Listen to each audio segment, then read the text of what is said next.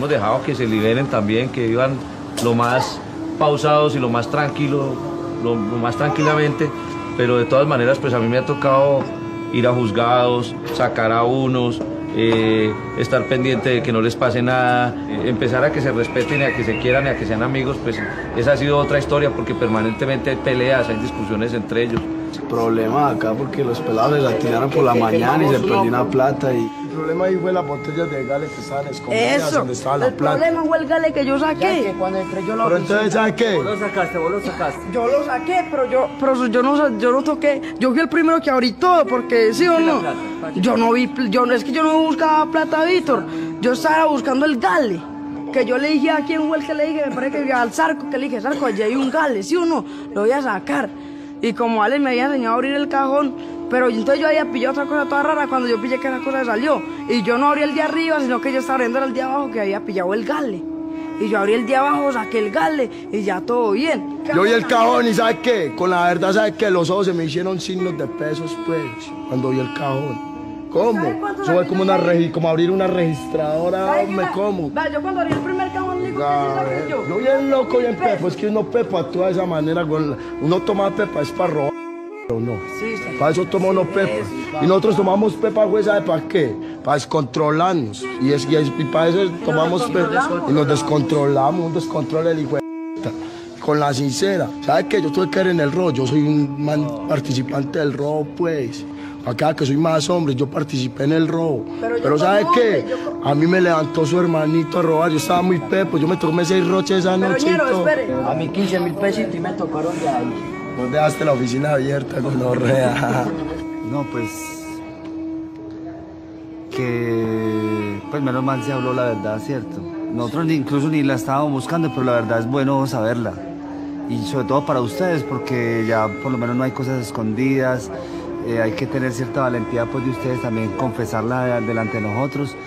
Y seguro que nosotros no pues no se va a caer ninguno de ustedes con decirnos la verdad, sino que sabemos que al contrario es como una cosa de claridad, de que, ya por lo menos está claro el asunto, de que no vamos a estar nosotros perdiendo tiempo pensando quién fue, cómo fue la cosa, desconfiando, porque de todas maneras uno se le mete en la desconfianza, ¿cierto? De no conocer a la gente.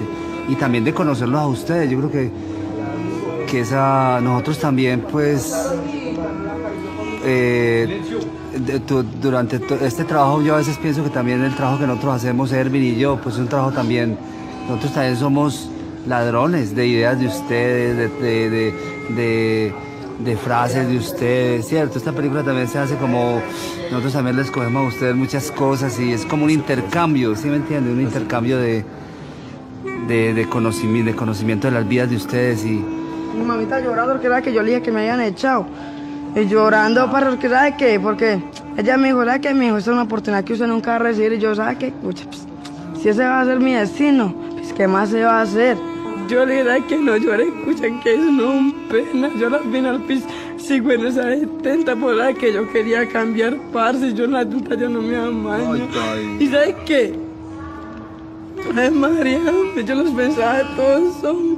Imagínate que a todos los llamaba, a todos preguntaba por ustedes, parce. Ay, María, yo quiero salir adelante, papá. Y yo salgo adelante, yo salgo adelante es por mi cucha. Y por mi mamita, y si mi mamita falta, Víctor, ¿sabes qué? Seguro, parce, que ¿sabes qué?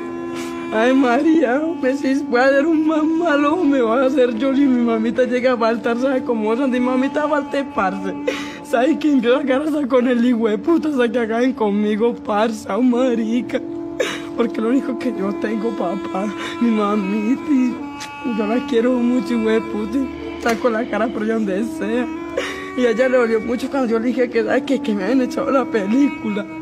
Porque, ¿sabes que No hay mamá, no, no es nada. Lo único que uno tiene es la cucha, parce. Ay, Mari, yo no sé dónde está mi cucha. Yo estaba muy pequeñito. Cuando mi cucha, cuando me cantaba mi cucha, yo era un niño, yo estaba apenas en primero, imagínese.